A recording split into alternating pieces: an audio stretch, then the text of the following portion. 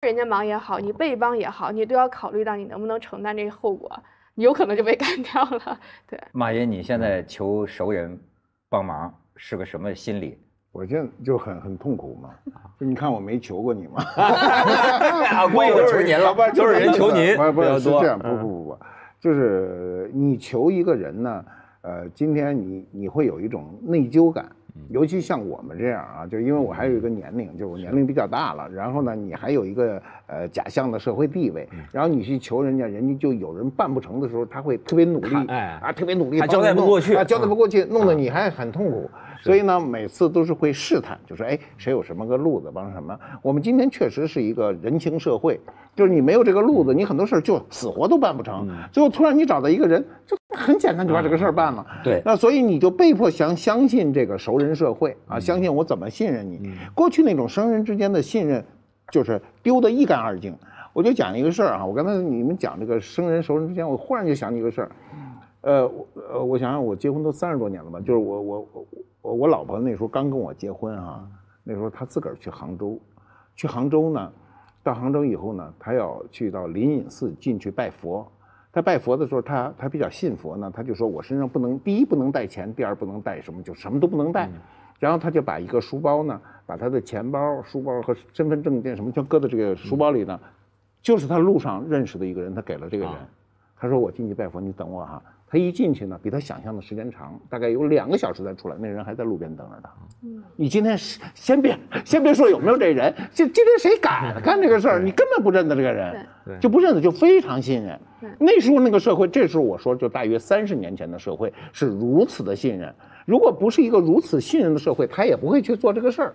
今天有没有这种人？我想依然有这种人。嗯，但是是没人没人做这件事儿，人有的是。不敢给。我今天给你我就敢，但是人家不是，假设你不谁都不认识你，对呀咱们在座的人都会在那儿等俩小时，但是谁会信任你呢？这是有个问题。所以您知道，就是我记得是陈陈寅恪啊，现在要读陈寅恪嘛，是吧？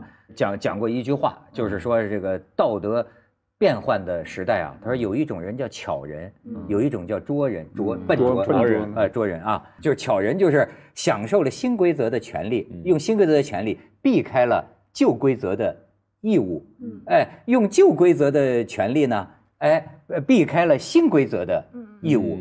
他说这个拙人其实就是老实人，就是笨人，就是承担了双重的义务。没有用好权利。哎，对呀、对，但我觉得其实，在现代社会，我遇到的一个问题，就是我以为我是摆脱了熟人社会的一代，因为我也没有什么这种亲戚，亲戚朋友也都不在，亲戚也不在北京，然后我也减少自己的社会需求来降低自己的社会关系，你知道，我就我我不帮人，人家也不帮我，但我就发现一个问题，就是在现在这个，你不知道谁就成为你的熟人。我那天遇到一个事儿，我很苦恼，就是我的中介，人卖我房子的中介，他找我借十万块钱，他说哦姐，好这关我实在实在过不过去了，我找你。借十万块钱，他说我们都很熟了，嗯我就觉得怎么说我们就很熟了，但他认为你看我天天见到你，我还给你卖了房子，我们就成很熟了。然后我最后没借给他，但我内心非常的纠结。然后我妈那天还遇到一个事儿，就是因为每天找我们家送快递的都是同一个人，然后那个快递就说说说大姐，说你借我五千块钱吧，我们都那么熟了。然后我妈就很害怕，你知道，因为那人他他是个我们家的快递，他知道我们家住哪儿，他也知道我们家的、的情况，所以我妈说怎么办，然后就给他打了点钱，说你别还我了，但是就把他拉黑了，就就很害怕。所以我觉得当当今我们好像觉得技术这个导致不是熟人社会，但有的时候你生和熟的界限也变得很模糊。哎你说这个，我想起来真事儿，我们家亲戚发生的真事儿，吓坏了。就是，就是他们住在十几楼，然后呢，那个呃呃有个保安，这个保安呢人挺好，所以呢每天见面点头，就是这种关系，没人见面点头。有时候呢看你拿的菜多，嗯帮你帮个小忙帮帮忙，嗯，这就算认识。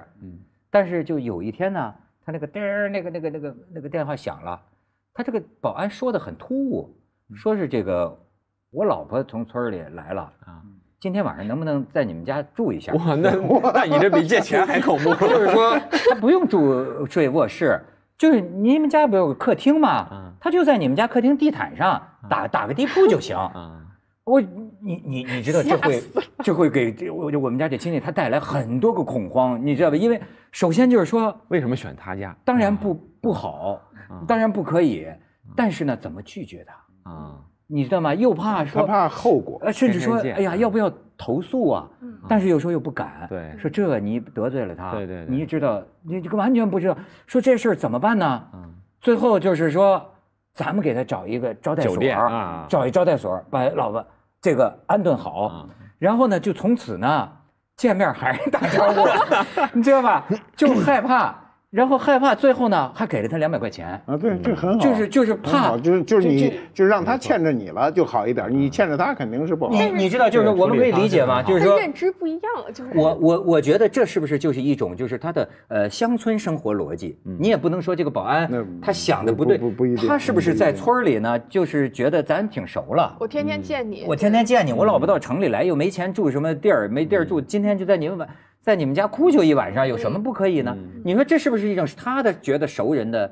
对，这就这叫这就叫假熟社会。对我们今天就进入这种假熟天天社会。见不一定熟，对，吧？现在都是假熟嗯啊，有人就是莫名其妙就被就是那种，你你说你不熟吧，嗯你确实认识这人啊，然后他他提出的呃条件，你认为就是非分的，但他认为是在不仅是合理的，还是在合理的范围之内的，对熟啊，所以所所以他不觉得是个事儿，他觉得你那房子空着也是空着，对对，这这而且他还去他还你们家客厅反正也也也也也没人呢啊，。我帮你，我还 能帮你干点活呢，对啊对不对？是不是啊？对我也不收你工钱说呢。所以这里呢就有很多问题。你比如说啊，就刚才我说，就是呃家里进生人这个问题啊，现在有很多人，他比如生孩子或者各种情况，家里要请请人，请人呢，无非就是要不然家政公司，要不然就是找乡下就是老家的人。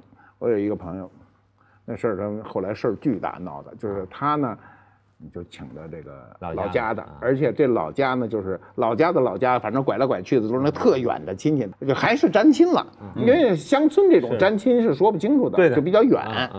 他他是需求远的时候他就特远，需求近的时候他就特近。是的，没错，乡村人就有事儿了，咱就是真亲啊，对对对对，然后呢，他呢，他不喜欢收藏吗？他就看拍卖会，突然看拍卖会，看一副对联呢，说，哎，这对联不是我买的吗？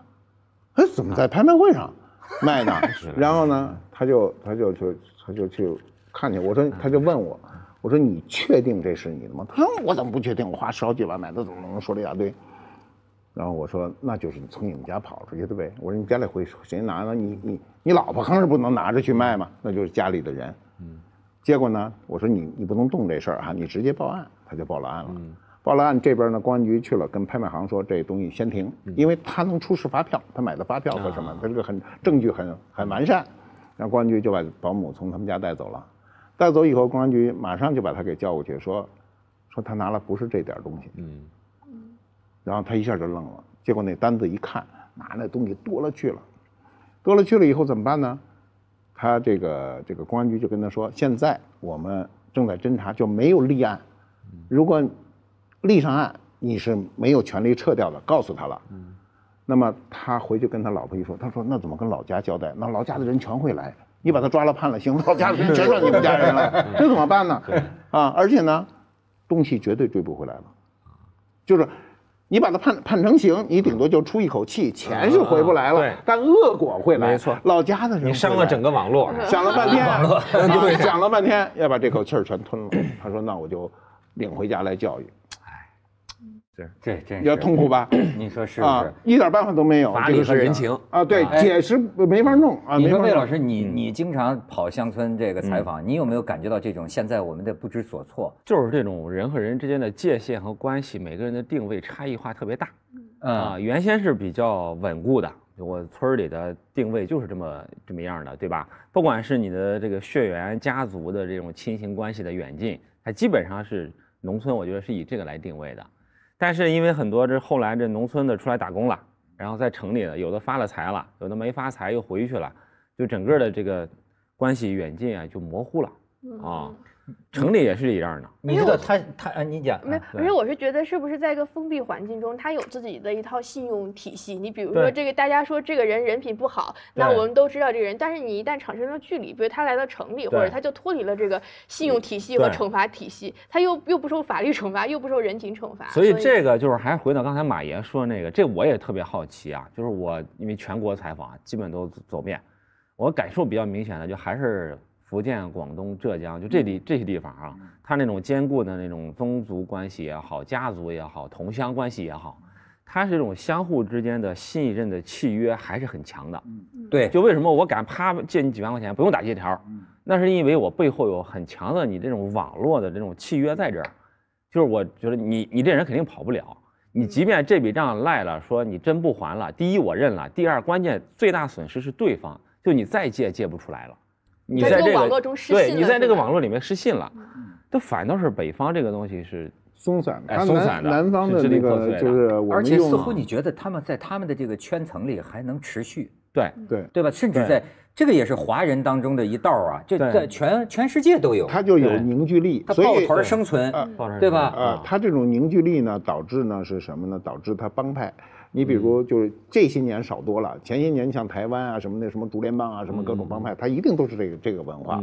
它这种文化中呢，它在表述的过程中呢，如果它有一种它自认为优于你的语言系统，就是咱俩我咱俩说话他们听不懂啊同乡这是不是优越？嗯就咱俩感到优越，他们俩可能看着我们俩很傻，说哎说的叫什么话？过过去北方人说南方人说鸟语是吧？那是你蔑视他，但是他说这个话的人，他觉得你不行，你听不懂，你一套语言系统，我两套语言系统，我就优于你，双语，是不是这个意思啊？所以过去那个为什么就我原来讲过哈，就中国早期做生意发财的全是特殊语言系统的，啊，中国四种啊，中国四个地方的商人是是是是出呃层出不穷，一个是潮汕地区，一个是闽南地区，一个是就是温州，还有个宁波地区啊。就中国的大商人，你挨个排，就你能说出名的，全出这四个地区。嗯而且你感觉啊，这个思想改造还真没咱们北方人彻底，是吧？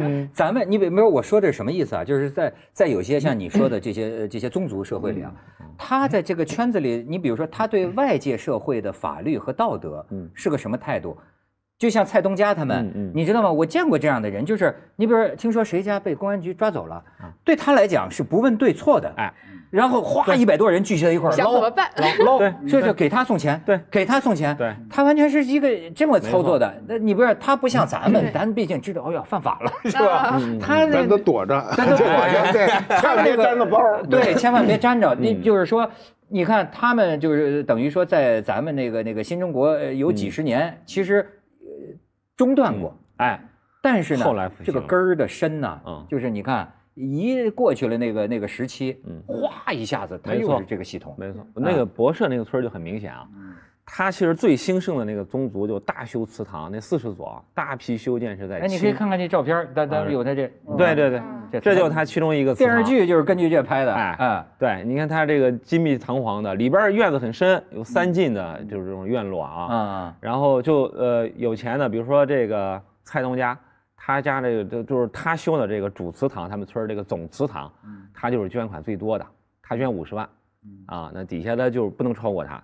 啊，就是都捐个还不能超过哎，他底下你不能超过他啊。嗯然后呢，就是回到说这个祠堂，这个就是第一次浪潮，应该是在清朝初年，就乾隆、嘉庆年间就开始。那个时候呢，博社是那种做糖、制糖业，而且它还有甲子港，有那港口，啊，就是经济的发达带来了它第一轮祠堂，就赚了钱了嘛，就开始为自己的这个这一支来立祠堂了。对，光宗耀祖。对，光宗耀祖了啊。然后呢，这个中间呢，到了民国年间又是第二轮。就民国年间第二轮呢，也是因为除了它经济这个还比较繁盛以外，更多是那个时候其实是整个混乱，这种治理权就是政府它就是到末梢，它已经是，下不去了。对对对，啊弱势政府，弱势政府，人家嗯混乱、混战，对吧？所以它只能靠这种宗族来治理乡村啊。再有第三波是啥时候？其实就是最近这十这几年，或者说这十年啊。本来他这个就是建国以后啊，确实是没落了，就是大一统了嘛，然后吃公家饭，完了整个就这个均贫富是吧？然后就这个宗族这东西不鲜明了，就是从九十年代末，就这博社这村儿，他开始搞市场经济又起来了。他们他我当时记得很深，有一个导火索是他要重新分虾塘，就是养虾的那个池塘，嗯是他们那村儿里这个经济收入最好的一个来源。就那时候九十年代，那时候还没有制毒贩毒啊什么的，还没到那时候。对，对，就是有本事的，就是比较能搞的人，早年出去做什么呢？走私、啊，假币，这是潮汕地区也比较兴盛嘛。然后大部分老百姓在村里是靠这个种这种荔枝啊、养虾这样的，所以虾塘是一个最主要的、利润最丰厚的。所以他九十年代末，他要重新分配虾塘，就是你家里要占据了很多虾塘的，你承包到期了应该拿出来，有人愿意承包，咱要重新分配。这一轮财富的重新分配，这个宗族又兴盛了。因为你有有纠纷吗？还是大家各种纠纷呀？啊，那为了争虾塘，为了那我这承包到期了，我就不交出来，我大家族。我大户啊，兄弟多嘛，然后就各种纠纷。这个时候你就很有时候两个房头械斗，械斗真打。对，所以潮汕朋友跟我讲，他们重男轻女，是因为在这个械斗的过程中，男的的武力比较强，所以他们重男，所以他们重男轻女，战斗力比较强。所以他就每家每户都要去认自己的哪一支的。嗯，你认你这往上扒扒扒，你是一只大支的，你你在分祠堂、分那个虾塘的时候，你话语权就强嘛。嗯，就开始重新找各自的，所以他南方这种血亲关系特别重要。你注意看啊，就中国的就是改革开放四十年以来啊，大的起来的都跟家族有关。嗯，你比如说，我们先说香港地区啊，你像李嘉诚啊，现在把企业都交给两个儿子，香港人四大家族。你看他这种家族，潮汕人呢，都潮汕人。呃，你看香港的这个四大家族，它全是家族企业。是，你注意看南方的企业做大的都一定是家族把。你看最近就是很多。呃，第一代人都交给第二代人嘛，他还是这种家族，在这种家族当中呢，他有没有矛盾？有矛盾，因为肯定都有矛盾嘛，有矛盾。但是南方的这个大量的这个企业的家族呢，有矛盾都自我去消化解决掉，但北方的就分崩离析啊，把对方搞进监狱啊。我记得这为什么呢？就。不知道为什么，就是我就认为是语言系统没有凝聚力。我记得那个黑格尔，它是一个文化的原因。这真是挺奇怪。东莞那个也是这样。有时候真的，我有北方全都分崩离析了，就是他他就是亲戚之间做不大，分家做大的时候不是分家就闹掰了。掰了倒是好事儿，就咱俩掰，比如一人掰一个啊，你半个西瓜，半个西瓜，咱还能吃。那是把西瓜扔了，谁都甭吃。这我记得北京原来好多年前有一个夫妻搞了一个什么衬衫厂，弄得很好，最后丈夫把老婆给送进监狱，老婆给丈夫弄，结果俩人全进监狱，都是这么干，你知道吗？所以北北方确实有有很多就是文化的弊端。他那儿有祠堂，对。有可能，你知道吗？他不是咱们俩人的关系。对，我要是太孙子了，或者太太不不不不讲究，我这家族，我这个整个家整个压力，整个压力你受不了。对，就是黑格尔就说，这人类有三种组织结构，就是家庭，呃，然后市民社会和国家。我觉得熟人社会是很微妙的，在这个家庭和市民社会之间的一种夹层，就是三种其实是并行的社会结构，并没有什么什么什么这个进化与否。那我觉得每个社会有不同的准则，就是当他有自己的准。则的时候，他不必依赖于市场社会的准则和国家的准则。然后，我觉得某种程度上，这种准则可能甚至更坚固和更牢不可靠，就是比这个市场的。还有一个是更高效，对，高效，家族高效。哎，我明儿要干什么？今儿晚上开一会解决了。你今天的现代法治社会，光你那个法律文件那半个月，你那 肯定你就没有竞争力嘛，对不对？把你都拟完了，那商机过去了。这个这个你们讲的深了，我我我觉得还真是有这么一个问题，就是说在任何国家呀，都有一个中间的组织形态，柔性的一种。哎，你比方就像方舟刚才讲这个什么什么黑杆，他确实是啊。你看现在也有人说说，你看咱们这个国家这个城镇化进程当中有有有一个问题，就是说。中间的人到哪儿找组织？嗯，你你知道，比如说一方面现在爱国观念也很高涨，对吧？但是国家是个非常大的概念。嗯，呃，另一方面呢，你比如说城市里的小年轻，或者说呃农村到城市里的人，他就是以个人为单位。嗯，好像个人主义也开始比较比较冒头，对吧？嗯，都是自己管自个儿，陌生人社会。但是你发现没有？即便在美国，你发现没有？美国最多讲的什么社区？对，嗯，它还有一个这么个概念，就是我们这块儿好像团结在一起，对，很多利益都是这个社区的共同的，很多时候社区必须统一表态。哎，对了，决定公共利益，国家的这个比如你们仨是一社区的，我要搬进去，我说我想买一个房子哈，你们三个人一说那土财主不能让人进来，那我就进不去，就这个事儿。但是美国它形成有，你看他美国总统讲话，他不光讲国家，他特别强调社区，我们为我们的社区而骄傲。哎，这样的话，他也有一个自助吧，至少是互助的一个中间的组织形态。对，咱们现在这个好像这方面要不就是属于像活化石似的这个宗族，嗯。要不呢，就是我们社区不行，我们个体我们社区的那个什么什么什么居民委员会什么的，一一开会就吵着蛤蟆坑，就 是永远哎。中国的那叫什什么？就是那个就是一个小区的那个、啊那个组织是业委会业委会，业委会这东西吧，第第一没有没有法律地位，每回开会一定是不欢而散。我们那边开。那个这个这个业委会的时候，就是人越多吧，最后就全都热的都得脱了衣服，每个人都说你们都得听我说，全是这态度。结果说那俩说的什么玩意儿，听懂了，就谁也不听谁的，你知道吗？他没有一个文化沟通。没错，这个我我我反省我自己，可能我自己也是比较喜欢无组织无纪律啊，就是嗯就是这个是不是呃咱们的一个毛病？就是说我不爱参加这种组织，对，我觉得净有人敲门儿，就是成立啊，各种业主委员会。有一天我那边呃敲门过来，我先在猫眼儿里看一下啊，俩俩俩俩大妈一块说，哎，咱们这这咱们共同利益，咱们跟那个物业，咱们怎么怎么着哈嗯？你知道最后我犹豫半天，我说。我说这不是我的房子，我没住这儿。我说我说我来我朋友串门儿的没有，我朋友在这儿，我临时在这儿住两天。我就就我觉得，本能的好像不想。我觉得可能是这。中国人或者很多人，他们就对于这个公共生活是有种畏惧，尤其是现在呃年轻人。我就是啊就你比如说他他对公公共生活的理解，就有人要管你，你让他一到一个这公共生活的领域，他就觉得自己要被规定，就是他对那个责任和义务的观念，你对他人的责任和义务，我觉得他没有一个这种概念。就我们的公共生活，我觉得像我这一代，我到。大学毕业就结束了，你知道，大学毕业那对我是一个空间的一个限制，我在一个非常逼仄的空间跟大家一起生活，你也不负有责任和义务。